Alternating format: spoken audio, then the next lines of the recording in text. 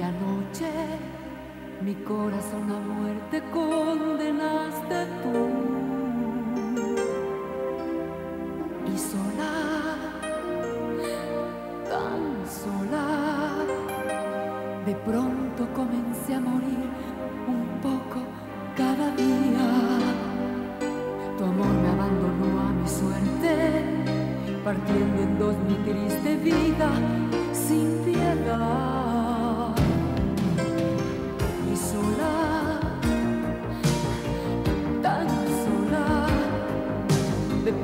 Comencé a morir un poco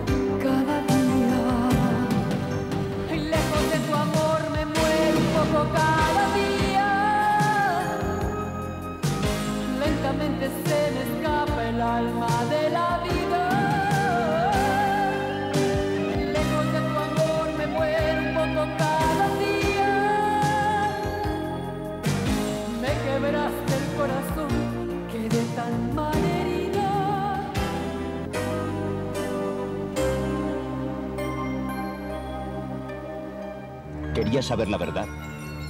Ahora tienes que enfrentarla. Pero ¿cómo se puede enfrentar la verdad? ¿Qué voy a hacer? ¿Cómo puedo vivir sabiendo que soy una asesina, una asesina? Cálmate, Diana, cálmate. Estás llamando la atención. Soy una asesina. Tienes que aprender a vivir con esa verdad. Yo vine aquí para ayudarte. ¿Vivir con esa verdad? ¿Qué quieres decir? Vivir al margen de todo y de todos, privada del amor, de la familia, de la amistad. ¿Cómo quieres que viva? ¿Encerrada en mi casa? Para eso son las clínicas, Diana. ¿Encerrada en un manicomio? En mi clínica y bajo mi cuidado. Es solo un tiempo. Después podrás hacer de tu vida lo que quieras.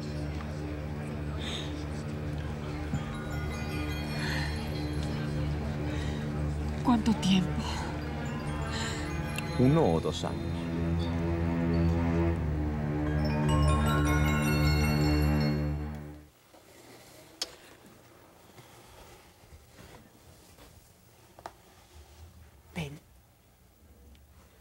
Vamos a la recámara.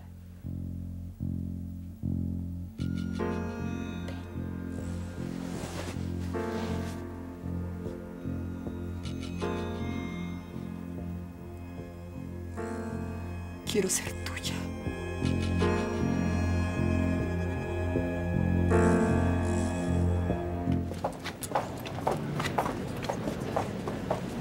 ¿La señora Gloria Morrison? Sí. Venga conmigo, por favor. La voy a llevar con el señor Kendrick. Ah, ¿y cómo está ese pelón de Luther? Bien. ¿Y quién es ella? Es Liz, mi hija. Por aquí, por favor.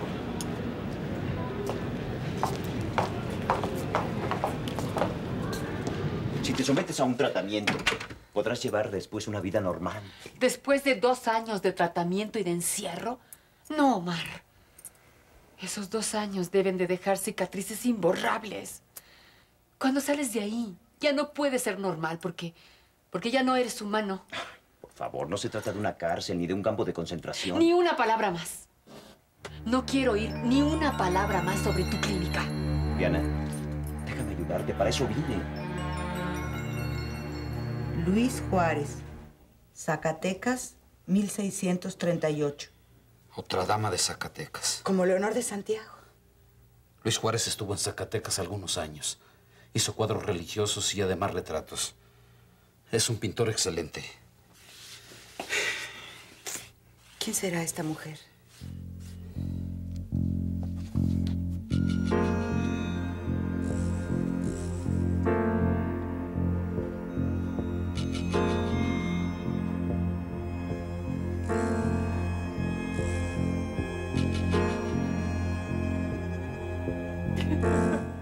Lo que te dijo para ponerte así? La verdad. Me hizo ver la verdad desnuda. Ay, te dije que no fuera sola. Cada vez que estás con él vuelves hecha un desastre. Es que es el único que me dice sin miedo la verdad. Ay, no es cierto. Esa no es la verdad. Lo que pasa es que a mí no me crees. Tú solo confías en Omar o en la doctora. A nadie le crees nada. Ni a Malena, ni a Nela, ni a Mario. Solo Omar. No, no, no te enojes conmigo. Yo soy tu amiga, Diana. Pero no puedo ayudarte si tú no crees en lo que te digo. Es que Omar es un especialista. Pero no te conoce ni te quiere como yo o como tu hermana. Pues por eso mismo el cariño la ciega. Omar me estima y, y cuando terminamos nuestro compromiso su amor se transformó en una amistad sincera. Pues a mí me parece que ni su amor ni su amistad son sinceros. ¿Por qué? ¿Cómo por qué? Es algo que se siente. Omar es egoísta y frío. No busca tu felicidad. Yo ya no tengo derecho a la felicidad ni tampoco al amor. Soy una asesina. Y eso es lo que Omar me descubrió exactamente. No te pongas así. Es que todo me parece negro. Hay situaciones que uno puede sobrepasar, pero esta, esta no tiene remedio. Todo tiene remedio, menos la muerte. ¿Por qué no vamos un rato a la casa de Vera? No, no, ya es muy tarde. Ay, no tanto. Además, ellos no se duermen temprano. Yo me he quedado platicando con Marcela hasta la medianoche. No, no tengo ganas de salir, ni de estar con nadie. Pero te haría bien un rato de distracción. Ándale. No seas mala, vamos, ¿no?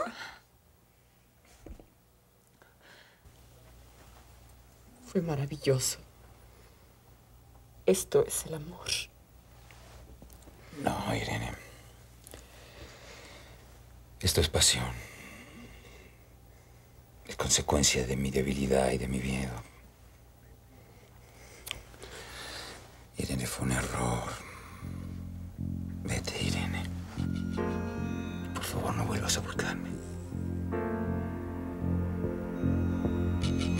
No acordamos que trajearas a tu hija. No podía dejarla fuera de la jugada. Ella también necesita dinero.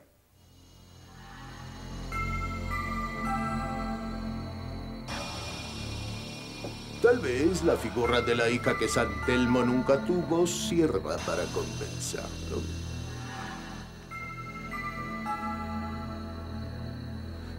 En fin, ya veremos.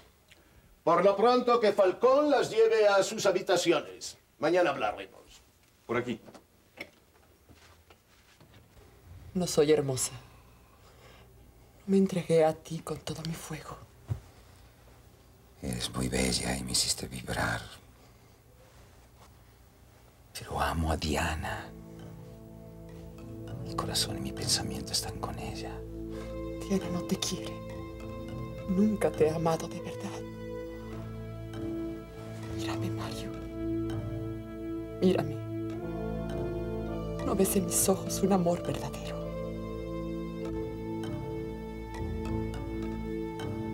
Si todavía lo amas, es mejor que le hables y le expliques lo que pasó. Ay, es que no entiendes, Vera. Yo amo a Mario, pero no puedo decírselo. Porque mi amor puede causarle la muerte. A ver, ¿por qué dices eso? Tengo facultades parapsicológicas. ¿Y eso qué tiene que ver? Diana cree que a causa de sus poderes, sus deseos inconscientes se vuelven realidad. Es que... Yo provoqué la muerte de mi madre.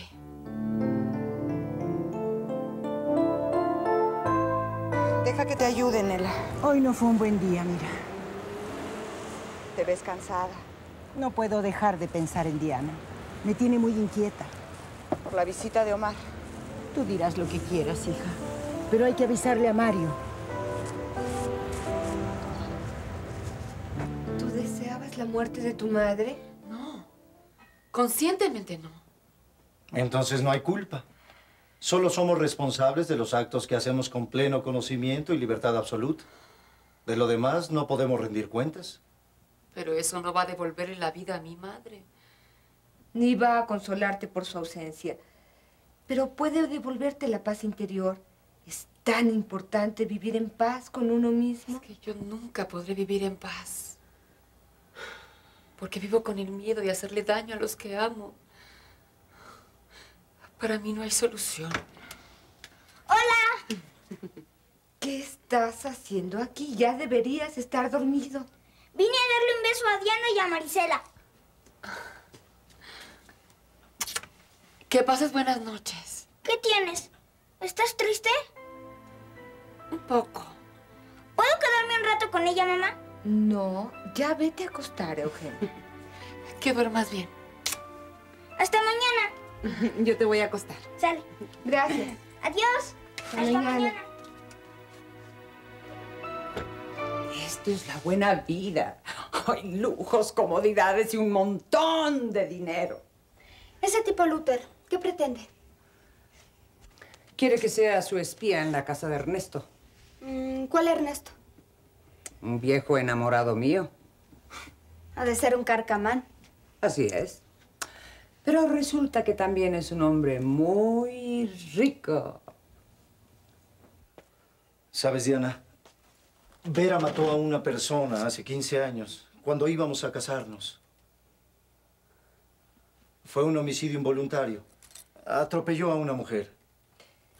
Me condenaron por imprudencia y estuve dos años en la cárcel. ¡Qué horror! La vida en prisión es muy dura, pero lo peor era el sentimiento de culpa. Cuando salió estaba en un estado de depresión tal que ni siquiera quería verme ni oír hablar de casamiento. Pero Marcel insistió y yo cedí. Él me hizo comprender que la vida sigue adelante. Pero sobre todo me ayudó a vencer el horror que sentía por mí misma. Fue una imprudencia, pero no una culpa. Y eso es lo que debes de pensar tú, Diana. No eres responsable de la muerte de tu madre. Es que lo confesé en una sesión de hipnosis. No importa. No lo hiciste voluntariamente. Piénsalo, Diana.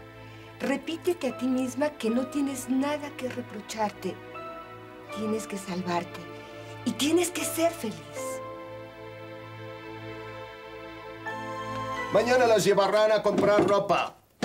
Tenemos que lograr que parezcan que son personas muy distinguidas y que se comporten como tales. Pues tendrá que hacer maravillas, jefe. Aunque tú no lo creas, mi querido Galván, también soy capaz de eso. No te quiso nunca. Te dejó plantado en la iglesia. Desapareció sin darte una explicación y ahora está de viaje tan tranquila.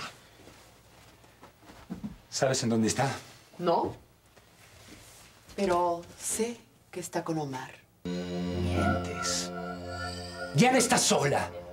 Estaba deshecha por la cinta que le mandó tu hermano. Si eso es lo que quieres creer, estás perdido. Irene. ¡Irene! ¡Irene, no vas a hacerme dudar de Diana, ¿viste?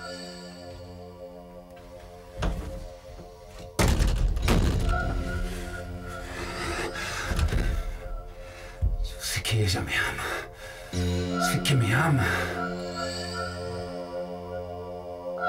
Es muy distinto, Marisela. Ella solo mató a esa mujer. Yo, en cambio, no sé a cuántos he matado. Con mi voluntad o sin ella. Soy una asesina. Cálmate, Diana. Mañana verás las cosas de otra manera.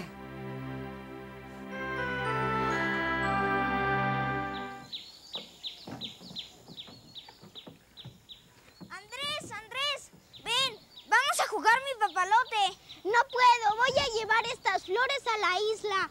¿Usted se va a quedar allá, Gabito? Voy a llevarle unos pescados a mi mujer y a que me dé de almorzar. ¿Puedo ir con ustedes? Si quieres, súbete. ¿Me ayuda, señor?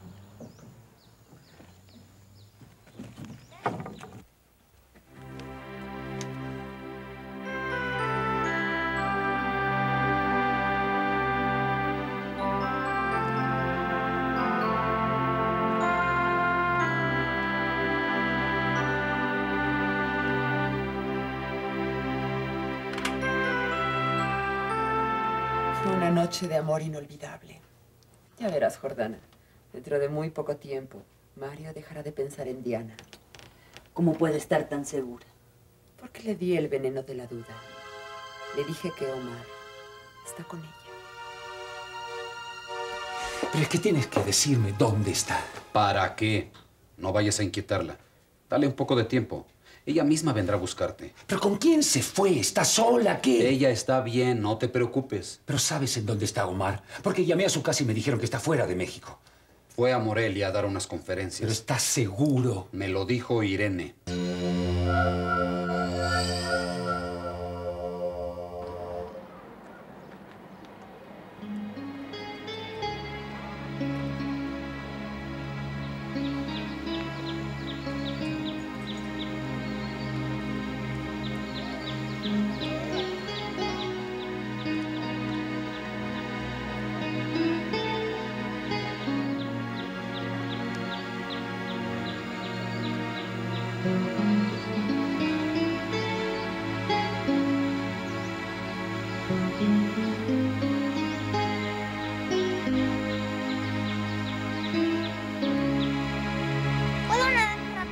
Vas a espantar a los peces. Es peligroso. Además hay mucha corriente.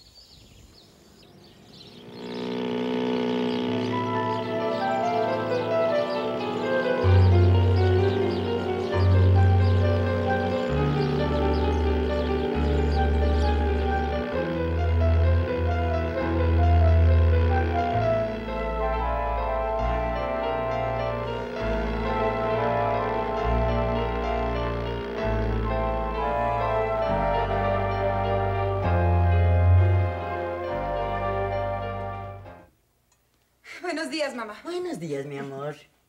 ¿Y Diana? No la he visto. Pensé que todavía no se había levantado. No, pues no está.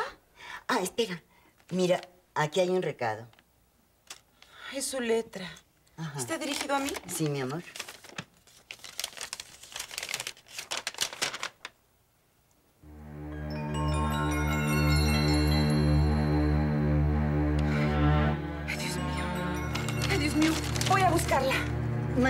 ¿No vas a desayunar? Pero, hija, estas niñas.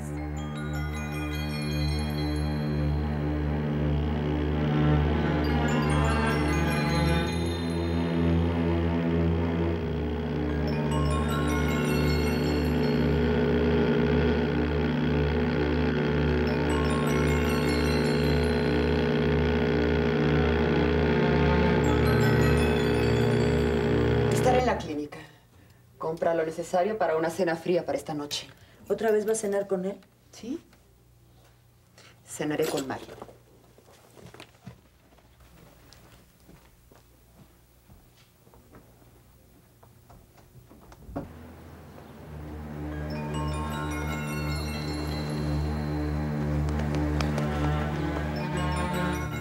Al lago, por favor.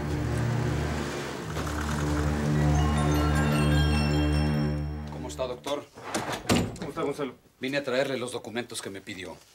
Ah, el proceso de juicio de Leonor de Santiago. Y los antecedentes de la familia. Siéntese, por favor. Gracias. El auto de fe no fue registrado.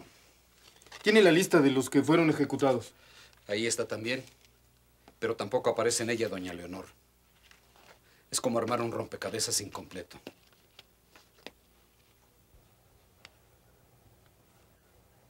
¿Y no sabe a dónde fueron?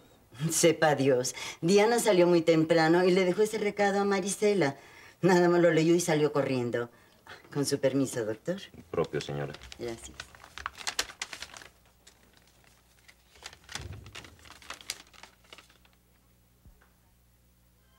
No tengo un lugar en la vida, ni puedo vivir con esta angustia en mi corazón. Adiós. Que nadie llore mi muerte. Todo se olvida, empezando por mí.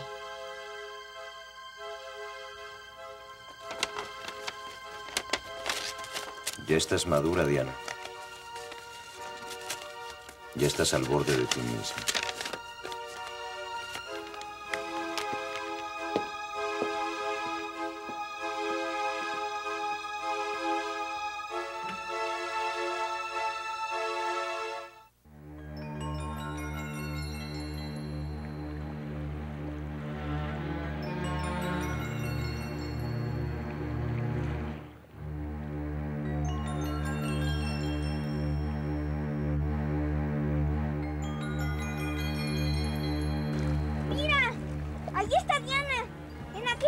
¿Quién?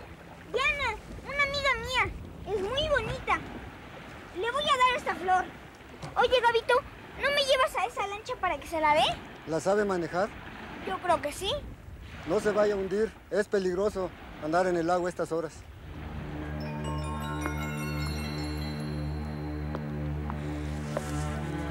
No puedo vivir sin ti, Mario.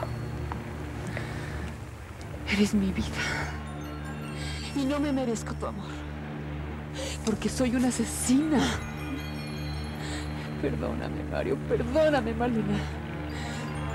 Pero no puedo vivir así. ¡Apúrate, Gabito! ¡La va a arrastrar en el agua! Está muy asustada. Creo que se va a tirar al agua. No puede. Está muy lejos de la orilla.